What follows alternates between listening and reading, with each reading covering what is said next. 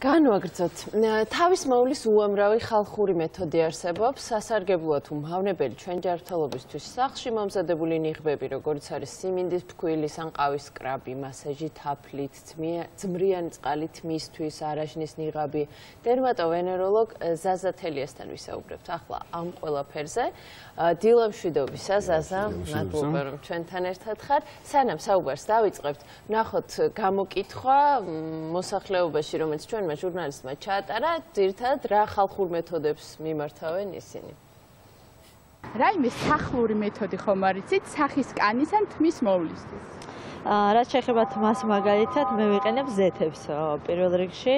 აა ყველაზე ეფექტური არის აბუსალათინის ზეთი. ცილას ვუმატებ ორასპირინს და E ვიტამინს. სახეზე. ძალიან კარგია. მე ვწმობ ჩემი კანიდან გამომდინარე, ეხლა კორონას მერე ცოტა ხუთი თვე ალერგია მქონდა და არ მაქვს ისეთი, მაგრამ 53 წელს სასაკში ნაოჭი არ მაქვს. სახის კანისთვის მოგახსენებთ კვერცხის ცილა, ათქვიფეთ და რომ ამოვა ბეზე, გაურიეთ მჭადის ფილი იმდენად რომ სქელი მასა მიიღოთ, 15 წუთი დაიდეთ სახეზე და ჩამოიბანეთ წვილი წყლით.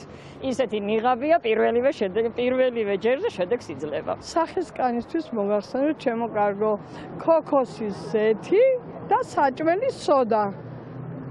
უნიკალურია. ზოგადად არ უწევ რეკომენდაციას მსგავს რაღაცაებს, მაგრამ რა ვიცი, ძველი მეთოდი არის ჭადის ფქვილით და სოდით რაღაცა სახის დასკრაბვა და ასე რომ არ ვურჩევ არავის, მაგრამ შესაძლებელია რაღაც ისეთ სიტუაციებში გამოყენება მაგის. მის მოვლისთვის მაქვს სახლური მეთოდი.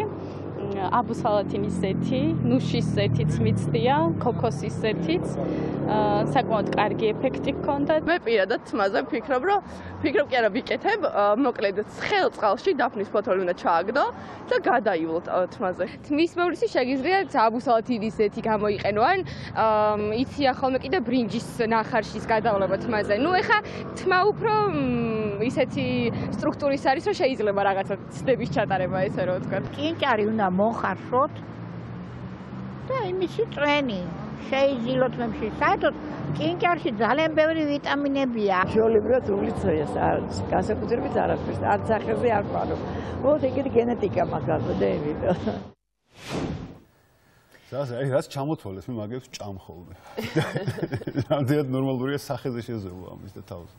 ну პირველ რიგში უნდა აღვნიშნოთ რომ ზოგადად სამედიცინო თვალსაზრისით არაეთიკურია.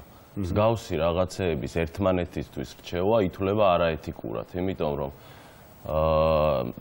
არსებობს სამი ფაქტორი. დავიწყოთ ჩამოთვლა პირველი ფაქტორი მედიცინაში ამას ქვია ეფექტურობა და უსაფრთხოება, ეგრეთ წოდებული safety and efficacy, ანუ ნებისმიერ რაღაცაზე, რაც რაც შეიძლება ადამიანმა მიიღოს, ან დალიოს, ან გაიკეთოს ინექცია, ან კანზე გამოიყენოს, მასზე უნდა იყოს მტკიცებულებები, სამეცნიერო მტკიცებულებები, რომ ის არის უსაფრთხო და ეფექტური.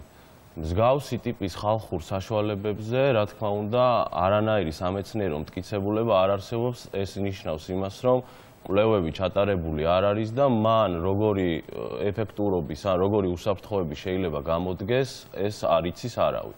კონკრეტული ჩვენ ყოველთვის საუბრობთ ხოლმე კონკრეტული პაციენტის პირადი გამოცდილება მედიცინაში არაფერს არ ნიშნავს. ან კონკრეტული ექიმის პირადი გამოცდილება, ეს უნდა იყოს დადგენილი მტკიცებულებებით. ეს პირველი ფაქტორი. მეორე ფაქტორი ეს არის ეგრეთ წოდებული ჯვარედინი რეაქცია. ჯვარედინი რეაქცია ნიშნავს, რომ ჩვენ როდესაც ორ პროდუქტს ავიღებთ, აი როგორც აღნიშნეს მაგალითად კვერცხი და ფქვილი. ისინი ერთმანეთთან როგორ ურთიერთქმედებენ და შემდგომ ისინი როგორ ურთიერთქმედებენ? ჩვენს კანზე, ესეც დადგენილი არ არის და მაღალი რისკი არის ალერგიული დერმატიტის ან ალერგიული რეაქციის, სხვა ტიპის ალერგიული რეაქციების განვითარების, მათ შორის ყველაზე სერიოზული და საშიში ანაფილაქსიური შოკის. ანაფილაქსიური შოკი შეიძლება განვითარდეს მსგავსი ტიპის პროდუქტების გამოყენებით. ну ყველაზე ხშირად ვითარდება ხოლმე და დერმატოლოგებთან მიმართავენ ალერგიული კონტაქტური დერმატიტის დიაგნოზით ამ შემთხვევაში. ასევე ძალიან ხშირია სხვადასხვა ტიპის დაავადებების პროვოცირება, მაგალითად ისეთი დაავადებების როგორიც არის როზაცეა. როდესაც იქნა გამოყენებული სხვადასხვა ტიპის საშუალებები, მათ შორის საკვების საშუალებები, საკვების საშუალებების გამოყენება მოხდა კანზე და მან პროვოცირება მოახდინა როზაცეის, ან პროვოცირება მოახდინა აკნესი, ეს მეორე ფაქტორი. და მესამე ფაქტორი, ყველაზე სერიოზული ფაქტორი, ეს არის ჩვენ ვიცით ეგრეთ წოდებული კონსერვანტები და კანის მოვლის საშუალებებში კონსერვანტებს ქვია პარაბენები. აი კონსერვანტები და პარაბენები აღიქმება საზოგადოებაში ცუდად და საშიშად. პირიქით კონსერვანტები და პარაბენებს იმიტომ იყენებენ როგორც საკვებში, ასევე კანის მოვლის საშუალებებში, რომ მათ დაასტაბილურონ ის პროდუქტი. ანუ ხელი შეუშალონ ბაქტერიების და სოკოების გამრავლებას და მათ აი პარაბენებს მაგალითად კანის მოვლის საშუალებებში გააჩნიათ ბაქტერიოციდული და ფუნგოციდური მოქმედება. ანუ არამრავლებენ ბაქტერიებს და სოკოებს, რაც თუ ბაქტერიით გამრავლ ბაქტერია გამრავლდა კონკრეტულ საშუალებაში ან ან სოკო, მან შეიძლება სერიოზული ზიანი მიაყენოს ჩვენს ჯანმრთელობას. აი მაგალითად კვერცხთან დაკავშირებითაც ყველაზე ხშირად გამოყენებადი რაც არის უმი კვერცხი, აი უმი კვერცხიც, ხო? უმი კვერცხის მირთმევაც სერიოზულ რისკებთან არის დაკავშირებული, იმიტომ რომ არსებობს ესეთი ბაქტერია სალმონელა, სალმონელა, რომელიც უმ კვერცხში არის ხოლმე, აი სტატისტიკურად თუ ავიღებთ, კი, შეიძლება დაბალი სტატისტიკური მაჩვენებელია, მაგრამ აინც სერიოზულია. 20000 კვერცხიდან ერთში, 20000 კვერცხიდან ერთში შეიძლება სალმონელა იყოს. კანთან შეხებითაც შეიძლება ამის გადაჭრა? რა თქმა უნდა, ანუ კანზე ზემოქმედების შედეგად შეიძლება მსგავსი ტიპის პრობლემა მივიღოთ. ანუ ბაქტერიული ინფექცია შეიძლება განვითარდეს, როდესაც კიდევ ერთხელ ხაზგასმით აღნიშნავ, ესეთი ტიპის საშუალებები კონსერვანტების და პარაბენების გარეშეა. პარაბენები და კონსერვანტები იმისთვის არის საჭირო, რომ კონკრეტული პროდუქტი იყოს სტაბილური, ანუ მასში არ გამრავლდეს ბაქტერიები. ამიტომ ჩვენ სახლის პირობებში დამზადებულ სხვადასხვა ტიპის საშუალებებში დიდი მაღალი რისკი არის რომ ის იყოს ამ დროს ჩვენ ხშირად პირიქით აღვიქვამთ რადგან ეს არის რა მცენარეული მცენარეული სახში მომზადებული კარგი. თუმცა ხო თავისი დადებითი მხარე ის აქვს რომ ძალიან იაფია ეს ყველაფერი. იცი რა მაინტერესებს? აი თუნდაც ჩვენზე მრავალჯერ ნაცადმა მეთოდმა სხვას არ უნდა ურჩიოთ გავიგე მაგრამ ნუ აი რამდენჯერმე მომისინჯავს თავუშვათ არის არაჟნის ნიღაბი და არ მაქვს ალერგია არაფერს ესე ცუც არ იწვევს. შეიძლება რაღაც მომენტში დადგეს რა თქმა უნდა არის ასეთი შემთხვევები ასეთი შემთხვევები მრავალია. პაციენტების მომართვიანობაც ხშირი არის ხოლმე რომ ის ხვება რომ გიყვება რომ ანამნეს რომ ის იყენებდა გარკვეული ტიპის საშუალებას მრავალი წლის განმავლობაში. აი ალერგიული კონტაქტური დერმატიტიც იგი ისევე როგორც აი მაგალითად მედიკამენტოზური ალერგია. პაციენტი მოგმართავს, მას დაეწყო ალერგიული რეაქცია, მაგალითად დაეწყო ეგრეთ წოდებული წამლისმიერი დაზიანება, რასაც drug eruption ქვია.